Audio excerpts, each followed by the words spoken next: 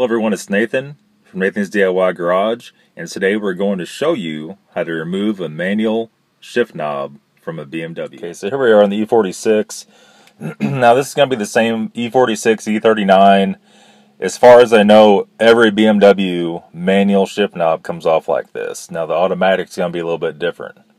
Uh, what we're going to do, we're just going to go ahead and grab it like so, and see if I could do it one-handed. We're going to pull straight up and slightly wiggle. Let's see.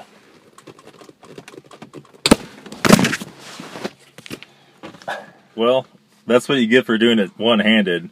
You can do it. Um, I'm just going to put that in the video. I was going to edit it out, but it's a lot funnier with that happening.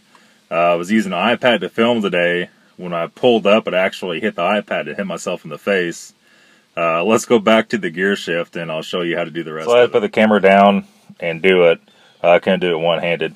This piece is not screwed down. This console's just setting in here. At any rate, it comes off like that. It just has a little snaps you can see like there.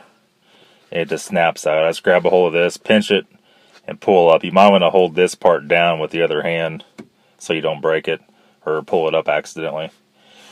But anyway, that's how you take the gear shifter lever out and the shifter leather surround boot. Sorry for the shakiness, guys, uh, but that's all for today's video. So if this helped you out, uh, give me a like, give me a thumbs up, uh, subscribe to my channel, and leave a comment.